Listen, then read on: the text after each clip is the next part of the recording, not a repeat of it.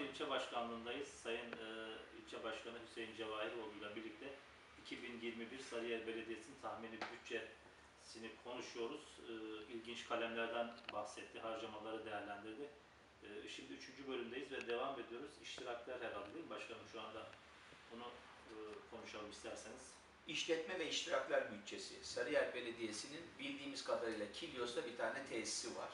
Çok eski e, turban tesisleri. Evet. E, bir de e, Karadeniz Vakfı'ndan kiraladığı bir yüzme havuzu, Sarfit. E, bir de Huzur Mahallesi'nde tesisi var.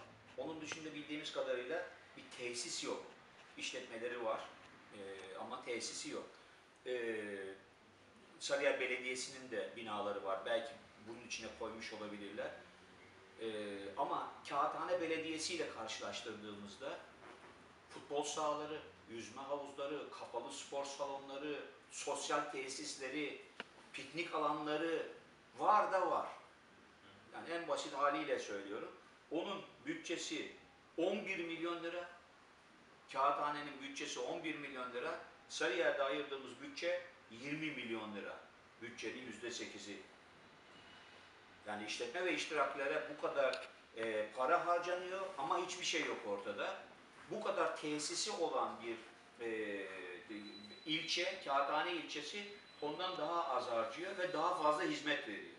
Daha da kötüsü diğer özel kalemdeki artışlar gibi buradaki artışın adı inanılmaz. 15 kat. 15 kat. 2015'ten 2019'da yükselmesi 15 kat. Ya böyle bir şey olur mu? Allah aşkına olmaz. İçerisinde güvenlik giderleri de eklenmiş Bir zannedersem. okur musun gerçekten ne var? Ben mesela o detaya girmemiştim. Ee, bir bakalım. Belediye iştiraklerinin bakımı diyor 1 milyon 435 bin var. Belediye binalarının güvenlik giderleri 16 milyon. Yeni tesislerin yerlerinin belirlenerek işletilmesi var 650 bin TL. Bir de personel gideri var ayrıca 1 milyon 837 bin. 16 milyon lira güvenliğe veriyor değil mi? Evet, belediye binalarının korunması. Yani 20 milyonun 16'sı güvenliğe. Yine personel gideri gibi göre, Doğru, görelim evet. onu. Ya biz belediyeyi tek binaya indirdiğimizde, geçirdiğimizde, farklı yerlerden geçtiğimizde ne demiştik? Eleman tasarrufu olacak demiştik. Özellikle güvenlikte. Evet. Ne oldu da güvenlik bu kadar arttı? Ne, ne, neden çekiniyoruz da güvenlik harcamalarımız Sarıyer'de 16 milyon liraya çıkıyor. İmar ve şehirciliğe 1 milyon bile olmayan, kentsel tasarıma yok gibi bütçeleri olan bir Sarıyer'de güvenliğe 16 milyon lira harcanıyor. Adını siz koyun. Yazık. Evet, yani. Yine yine harcama kalemlerinden bir tanesi. Sarıyer Belediyesi'nin genel düşüncesi, belediyecilik anlayışı şu. Yiyelim, içelim, gezelim, ağırlayalım, gezdirelim. Çok güzel bir şey. Yani halkını başka ilçelere, özel yerlere, tarihi yerlere götürmek çok güzel. Buralara harca başımın üzerine. Basına çıkalım, basına harcayalım, basınla algı yapalım.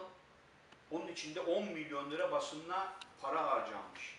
Sevgili Batu, siz de Sarıyer'de yerel gazetelerin önemlilerindensiniz.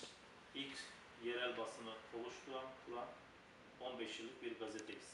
Sarıyer Belediyesi'nden herhangi bir reklam, herhangi bir bilgi, herhangi bir e, belge veya herhangi bir para alıyor musunuz bu konuyla ilgili? Hayır. Verdiğiniz bir hizmet var mı?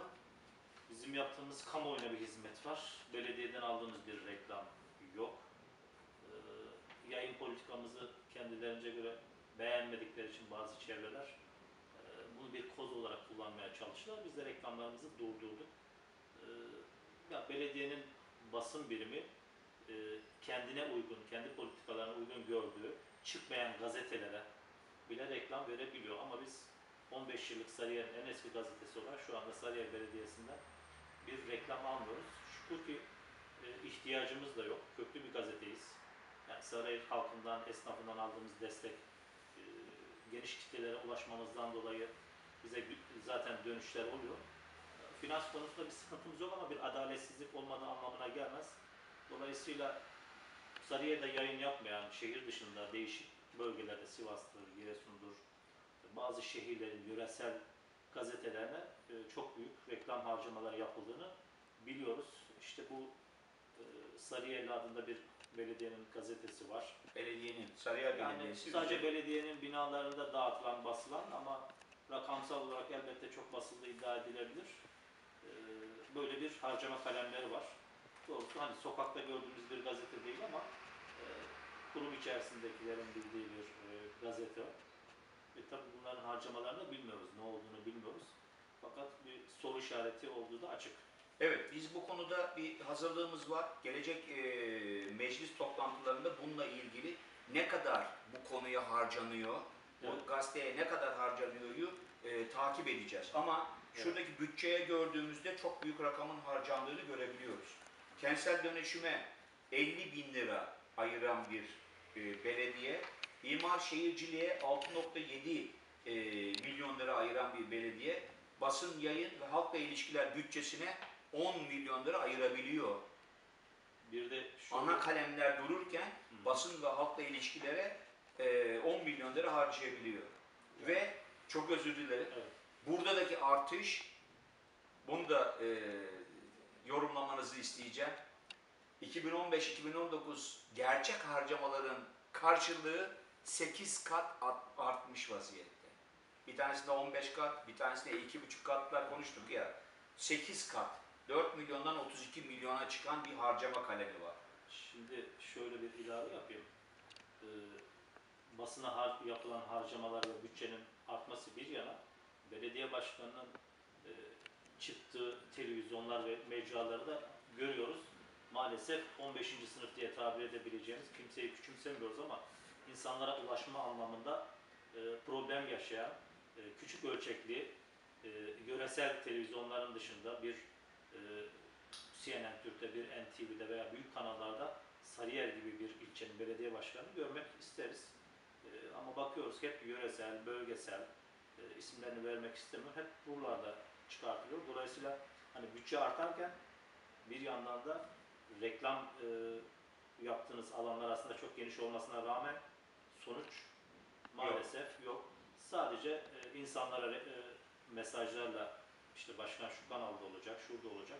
Bakıyorsunuz o kanalların ismini ilk kez o mesajlarla öğreniyoruz. Hani belediye mi bunların reklamı yapıyor yoksa o kanalda başkanın veya Sarıyer'in mi reklam yapılıyor? Bu da bir e, muamma.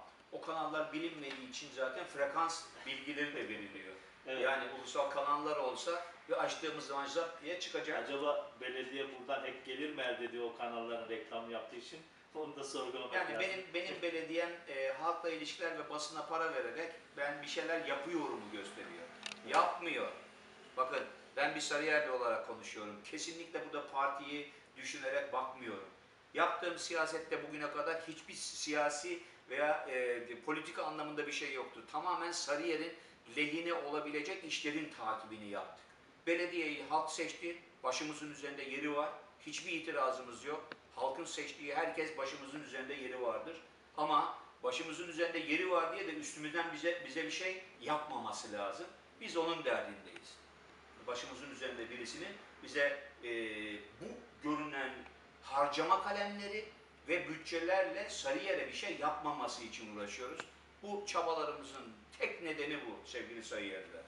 Onun için kültür ve sosyal işlere biraz evvel konuştum. Yani Beykoz 30 milyon lira, Kağıthane 23 milyon lira ayırırken kültür ve sosyal işlere ben 6 milyon lira ayırıyorsam Sarıyer gibi kültürlü, üst derecede insanların bulunduğu bir ilçede, üst derecede insanların bulunduğu ilçede kültür yok demektir. Bütçenin yüzde biri zaten bunu gösteriyor. Ve 2015-2019 arasındaki yükselme de yüzde 54 ile kalmış. 5 senede yüzde 54 yükseltmiş kültürünü. Bu sene de zaten 6 milyon lira komşum 30 milyon lira harcarken ben 6 milyon lira harcıyorsam kültürde yokum demektir. Sporda yokum demektir. 9 milyon komşum ben 4 milyon lira harcıyorum. Ve yükselme e, bedeli şeyi de oranı da deminki gibi e, kültürdeki gibi o yüzde 54'tü bu yüzde 75. Ya yüzde 100 artsın. Yüzde 200 artsın. 15 kat artan şeyle harcama kalemlerim vardı ya. Onlar gibi artsın ya. Ben gencime spor yaptıracağım. Kültürü vereceğim ki Sarıyer'e yararlı olayım. Hadi yatırım yapamıyorum. Param yok o kadar. Yoksa gence yatırım yap ya. Gence yatırım yap. Bir tek akademiyle bu işler olmaz.